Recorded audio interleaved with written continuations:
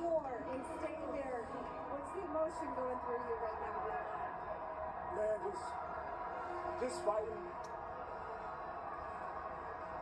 Man, just all the people that count us out and just playing hard for my teammates and playing hard for this, for this great university. Um, this is what it's all about, man. And I'm so proud of my guys, man.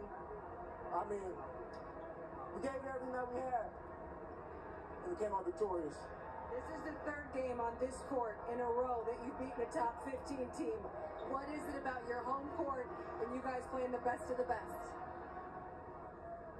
15, 16,000 deep, Chris. It's amazing.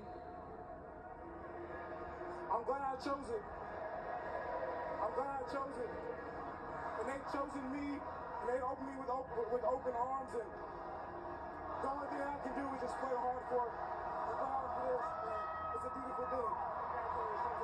Thank you so much. What a scene in Lubbock. Really cool. Means